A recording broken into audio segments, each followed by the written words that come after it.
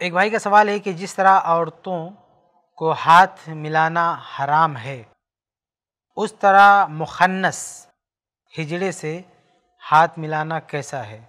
ये एक भाई का सवाल है। कहते हैं कि जिस तरह से औरतों से हाथ नहीं मिला सकते, मुसाफा नहीं कर सकते, यानी वो ना तो मुकम्मल मर्द है, ना मुकम्मल औरत है तो उससे हाथ मिलाना कैसा है? तो देखिए, मुखन्नस जो होता है, वो असल में या तो मर्द होता है या औरत होती है। ये जहन में रखें कि जो हम लोग कहते हैं ना बीच वाला तो बीच वाला ऐसे बोल देते हैं उसको, लेकिन हकीकत में वो या तो मर्द होता है या औरत होती है, ये जहन में रखें। कोई मुखन्नस, ऐसा नहीं है कि बिल्कुल बीच वाला जिसको कहते हैं खनसा मुश्किल, यानी ऐसा हो कि आप पता ही ना लगा सके कि ये मर्द है या औरत है।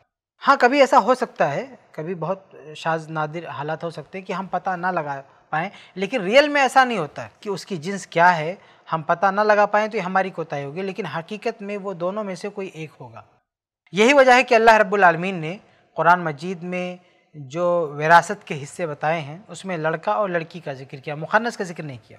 कुरान में जो अल्लाह ताला ने कहा है कि किसी की औलाद हो तो लड़के को जो मिलेगा, वो लड़की के बनस्बत डबल होगा। भाई, औलाद में कोई मुखनस भी हो सकता है, उसको कितना हिस्सा देंगे? लड़के वाला देंगे या लड़की वाला देंगे? तो यहाँ पे जो विरासत के उलमा हैं, उनका कहना है कि ये देखेंगे कि उसके अंदर गालिब अलामत कौन सी है? लड़के की है या लड़की की है? अगर गालिब अलामत लड़के की है तो लड़के वाला हिस्सा देंगे। अगर गालिब अलामत लड़की की है तो लड़की वाला हिस्सा देंगे। तो इस एतबार से गोया कि अगर मर्द की अलामत गालिब है तो उसको मर्द की कैटेगरी में रखा जाता है।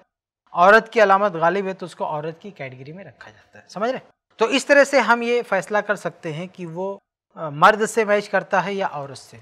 तो अगर वो मर्द से मैच करता है और मर्दाना अलामतें उसके जिसम में ज़्यादा हैं और उसका उठना, बैठना, चलना, फिरना गुफ्तु करना सब मर्दों जैसा है तो जिस्मानी एतबार से भी मर्द की अलामत गालिब है और अपने किरदार के एतबार से भी वो मर्दों जैसे हरकतें करता है, वो मर्दों जैसे अमाल करता है तो उससे हाथ मिलाने में कोई हरज की बात नहीं। क्योंकि वो मर्द जैसा है, मर्द की कैटेगरी में, उससे हाथ मिला सकते हैं।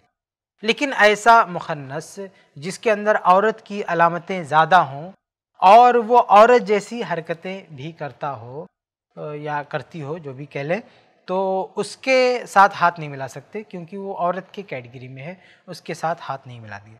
तो ये जहन में रखें कि जिस्मानी तौर से और अपने अमल के हिसाब से मुखन्नस किसकी तरफ़ मायल है?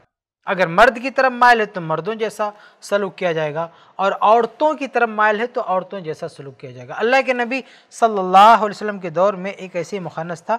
अल्लाह के नबी वसल्लम ने उसे औरतों के बीच में बैठने की इजाज़त दी थी। क्योंकि अल्लाह के नबी वसल्लम को ये लगा था कि ये औरतों जैसा है, उन्हीं से मैच करता है, उसमें बैठने की इजाज़त दी। लेकिन उनके बीच में बैठते हुए एक बार उसने एक अजीब सा कमेंट किया, अल्लाह के रसम को पता चला तो अल्लाह के रसम ने कहा कि ये लोग अब तुम्हारे पास नहीं आने चाहिए, ये लोग तुमसे दूर रहें।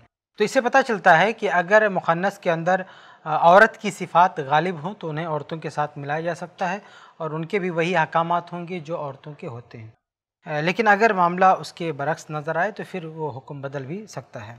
तो खुलासा ये कि अगर वो मर्दों की सिफ़ात वाले हैं तो मर्दों जैसा मामला किया जाएगा, औरतों की सिफ़ात वाले हैं तो औरतों जैसा मामला किया जाएगा। और अगर उनका मामला मशकूक है, मुश्किल है, और ये तय करना दुशवार है कि वो मर्द की जैसे हैं या औरत जैसे हैं तो फिर उनके साथ एहतियात बरती जाएगी, उनसे हाथ नहीं मिलाया जाएगा। तो ये जहन में रखें कि अगर बिल्कुल मर्दों जैसे हैं, उनके साथ उठना बैठना है, पूरा उनका मामला मर्दों जैसा है अलामत भी गालिब जो अलामतें हैं, उनके जिसमानी जो अलामत होती है, और मर्दों जैसी है तो मर्दों जैसा मामला करेंगे। लेकिन जिसमानी तौर पर औरतों जैसी अलामत उसके अंदर, यानी दिखने में औरत नज़र आ रहा है, वो, और औरतें जैसी हरकतें हैं तो उससे हाथ नहीं मिलाना चाहिए। और अगर बीच वाला दिखता नहीं, हम फैसला नहीं कर पा रहे हैं कि ये किस कैटेगरी में इसको रखें तो भी एहतियात करना चाहिए, उससे हाथ नहीं मिलाना चाहिए। तो ये वजाहत है आपके सवाल पर, उम्मीद है कि आपको जवाब मिल गया होगा। ऐसे ही और वीडियोस बनाने में हमारी मदद करें। आई प्लस टीवी को ज़रूर डोनेट करें।